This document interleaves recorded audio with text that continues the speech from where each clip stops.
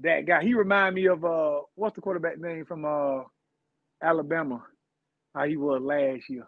Black Miro? Miro. Miro. Miro. Yeah, he kind of throw like Miro right now. You know what I mean? Like la- Miro last year, because this year Miro throw pretty Yeah. well.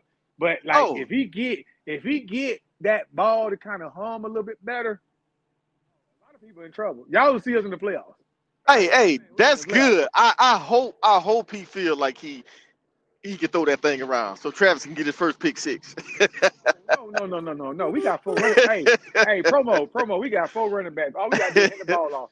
And matter of fact, Hey. he a running, he a running back. That's a quarterback. So we got five Hey. running backs.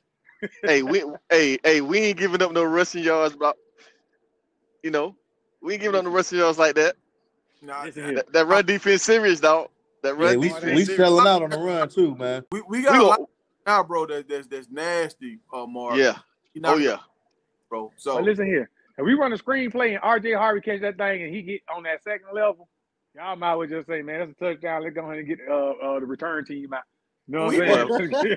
Hey, hey, the return it- team if 41 get a hold of him, he gonna knock him out the game for a couple plays.